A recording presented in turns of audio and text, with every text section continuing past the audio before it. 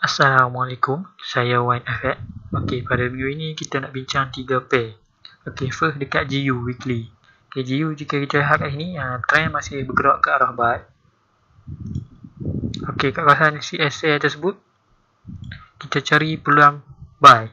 Okey, target uh, kenaikan GU jangka masa panjang saya akan target dekat CS buy yang terdekat iaitu price 1.35319.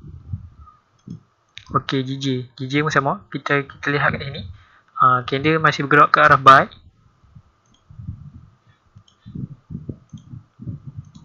Okey, kat kawasan tersebut kita cari peluang buy GJ. Okey, target uh, kenaikan ni saya akan target dekat CS buy yang terdekat.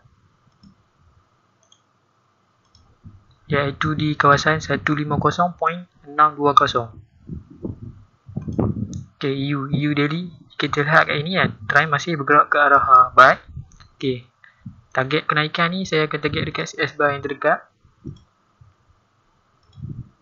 Iaitu price 1.35580 okey kat kawasan tersebut kita cari peluang sell okey target uh, penurunan pula saya akan target dekat CS uh, sell yang terdekat dulu. Iaitu 1.13083 okey itu saja daripada saya